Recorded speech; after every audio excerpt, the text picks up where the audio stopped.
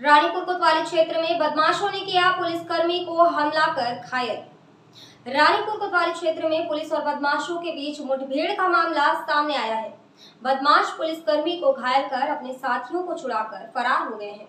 घायल पुलिसकर्मी को इलाज के लिए हायर सेंटर रेफर किया गया है। वहीं बदमाश फरार की तलाश में पुलिस जुटी हुई है।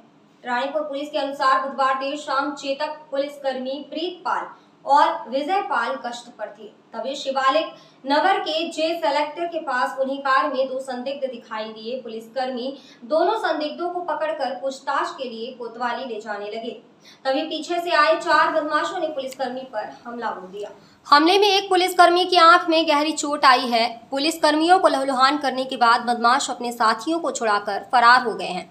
घटना से पुलिस महकमे में हड़कंप मच गया है। फरार बदमाशों की तलाश की जा रही है। अपडेट मीडिया के लिए हरिद्वार से रणविजय कुमार की रिपोर्ट।